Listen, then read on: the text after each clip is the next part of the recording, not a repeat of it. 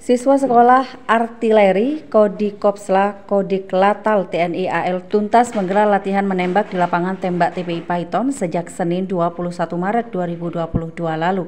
Sebelum menutup pelatihan tersebut Kamis 24 Maret 2022, para siswa pelatihan itu melakukan bersih pantai bersama siswa SMK Keraksaan dan warga sekitar.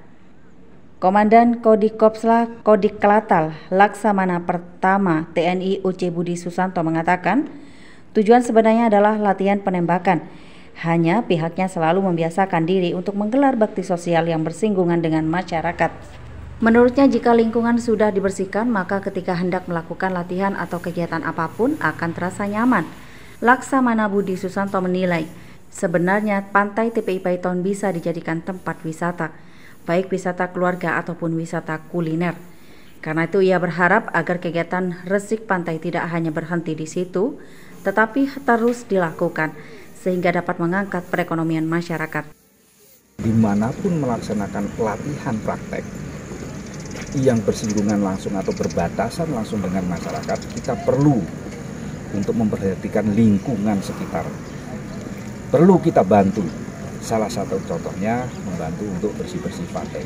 Ini salah satu contoh. Kalau lingkungan kerja kita bersih, indah, itu kalau melaksanakan kegiatan mau itu latihan praktek, mau itu kegiatan hari-hari kita ke kantor, di sini langsung dengan ada kantornya TPI, kita akan enak, segar udaranya. Saya lihat memang e, sudah bersih, tapi masih perlu lagi peningkatan sehingga perlu kerjasama kita tidak hanya kita dari kita ya dari TNI tapi mungkin dari masyarakat yang lain dengan bekerjasama dengan Forkompinda.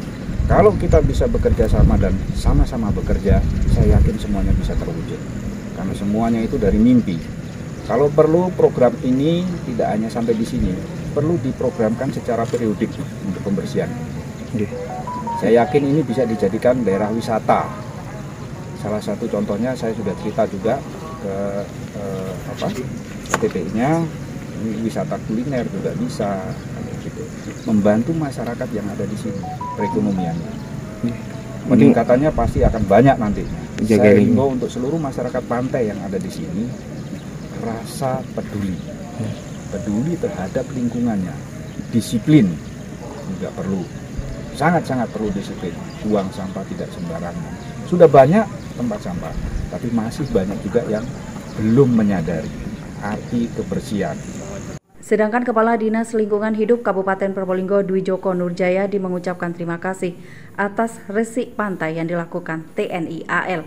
Menurutnya kegiatan tersebut dapat membantu peran Pemkap dan masyarakat. Dwi Joko juga menyatakan akan melaporkan usulan dijadikannya TPI Python sebagai tempat wisata kuliner. Usulan itu akan disampaikan kepada PLT Bupati Probolinggo, Timbul Prihan Joko. Kami mewakili PLT Bupati dan atas nama pemerintah daerah, masyarakat Kabupaten Probolinggo mengucapkan terima kasih pada TNI AL yang sudah membantu eh, peran pemerintah daerah dan masyarakat dalam rangka bersih-bersih pantai, khususnya di pantai uh, Sumber Anyar Paiton. Mudah-mudahan sesuai dengan harapan komandan tadi uh, pantai Sumber Anyar ini bisa dijadikan uh, tempat wisata kuliner ini uh, menjadi uh, perhatian nanti pemerintah daerah kami usulkan kepada uh, Bapak Bupati mudah-mudahan wisata kuliner ini bisa terwujud di Desa Sumber Anyar. Laporan Zainul Rifan, Tadatu TV.